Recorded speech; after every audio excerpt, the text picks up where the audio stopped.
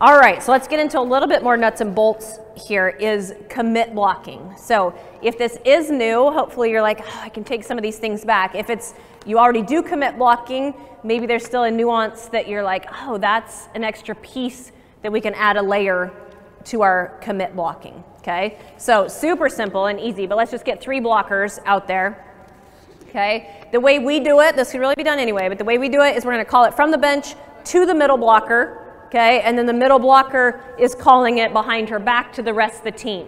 So if I'm sitting over here on the bench, I would be calling, let's just use a fist right now, okay? And everybody else is then seeing her. So you don't have six people looking at your bench, only the middle needs to get a, an eye check. We also have just a default, like if we're talking and we don't give her a call, they know what it is, okay? Which like right now, a fist is our default. We're in a read block situation. We are not committing, we're not doing anything unique. We're just reading the situation and then going to chase, essentially. Okay, read and respond um, if we're in a fist. Okay, so that's how we call it.